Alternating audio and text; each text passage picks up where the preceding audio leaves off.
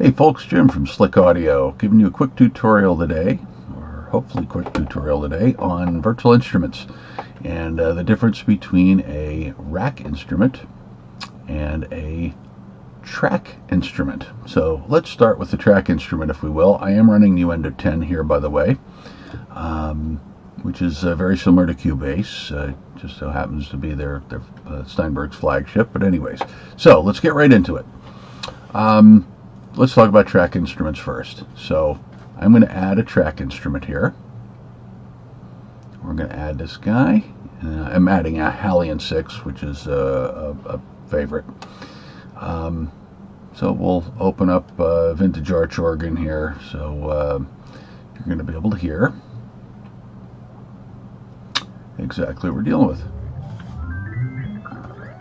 So we have an organ and we have Halion 6. I'm going to slide this over so we can see a few things a little bit easier. So highlighting this, I can see uh, Halion 6 is loaded. Um, you notice there's uh, it just says Halion 6. Uh, that's I say that that means take notice because I'm going to show you something later.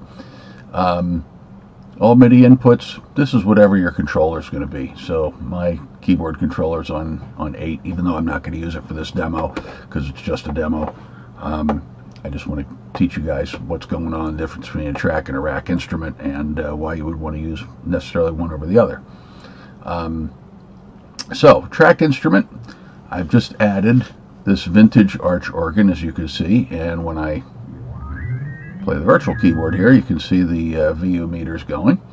So, uh, let's add and draw out a little blip here um, double click to go into my editor and I'm just gonna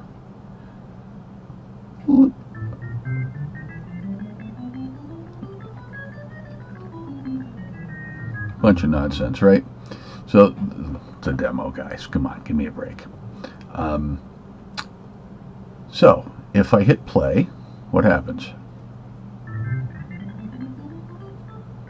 Okay this is as we expect right so it plays the vintage arch organ.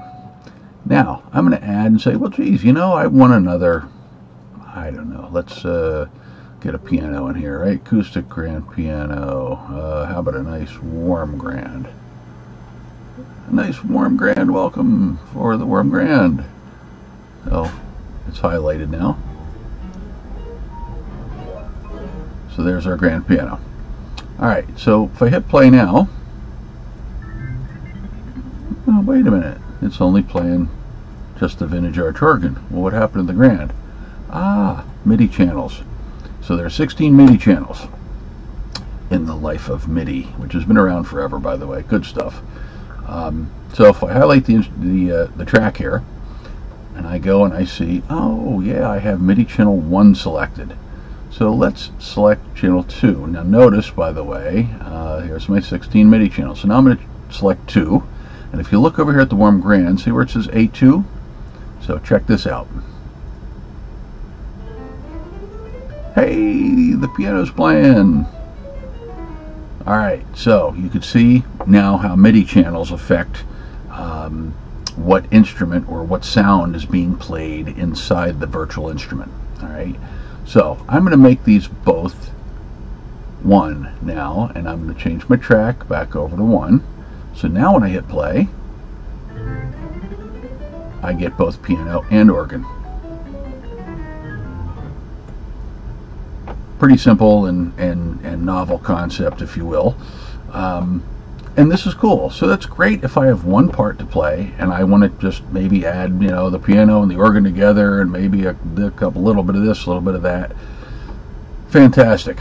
Well, that's great. But what if I wanted that piano to be one, and I wanted, uh, you know, or organ to be one sound and a piano to be another. So that brings us into a whole different realm. So now I would have to add another instance of a track instrument in order to get that other sound that I wanted, consuming more memory, more CPU. So we have a way around that. So let's clobber this track, shall we? Remove selected track. Some of the, yes, uh, yes, I want to really delete the track. All right, so let's go over here now. We're going to add a rack instrument, and I'm going to pick Halion 6 again. and uh, notice it asks me now, hey, do you want to create a MIDI track? Well, yes, I do. Uh, and why is that? So now Halion looks the same, of course, here. So I'm going to fire up and uh, well, we'll add the warm grand first. Why not? So let's lo load that up. And if I play it, it's kind of the same thing, right? Now, let's look at the actual track itself. So my MIDI in is still my MIDI in. Ah, look at this now. See the 01 dot Halion 6 port A, blah, blah, blah, blah, blah. Well, geez, I can do multiple ports in a rack instrument. Um, so that's one benefit. But let's, for now, let's keep that out of this video. I want to keep it easy. Notice my MIDI channel is still one, right? Okay. So now we're going to say, uh, let's uh, draw out a little part here, you know, nice and quick, short, sweet, simple, double click, and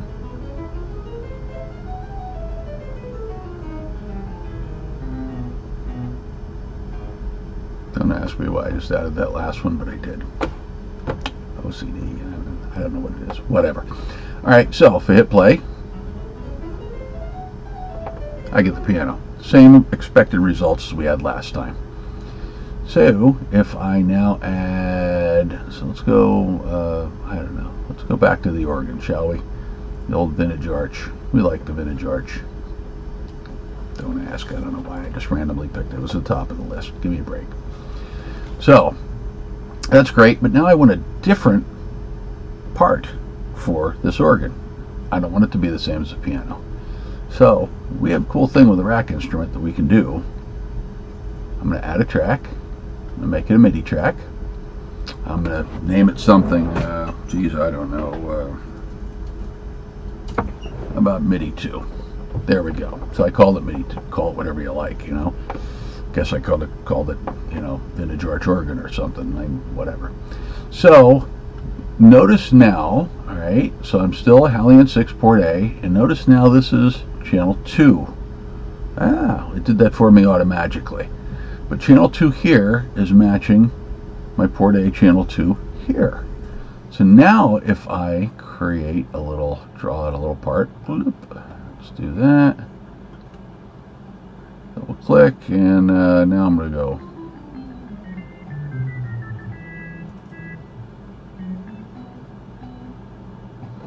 whatever. So, um, so what's going to happen now when I go to play?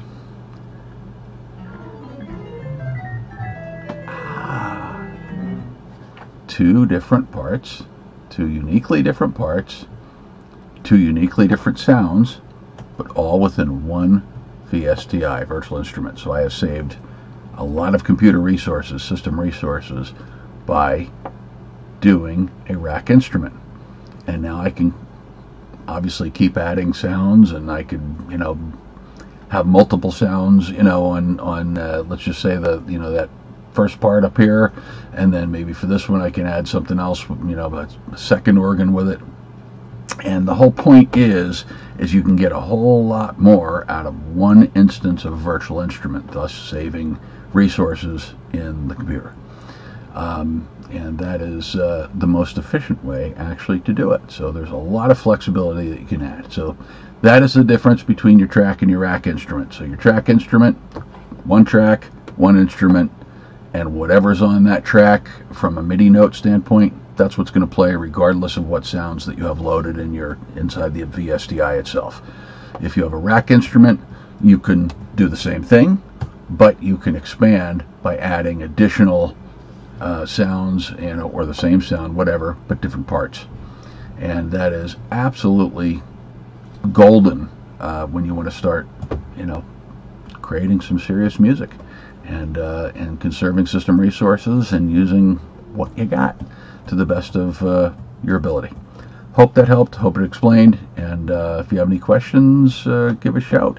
www.slick.audio.com. You can go to slick.audio too. It's our old one. So slickaudio.com, 570-371-5800. Give us a shout and uh, visit us on, uh, you know, the usual Facebook, Instagram, YouTube, blah, blah, blah. Um, and, uh, hey, enjoy yourselves and uh, stay safe out there. Talk to you in a bit.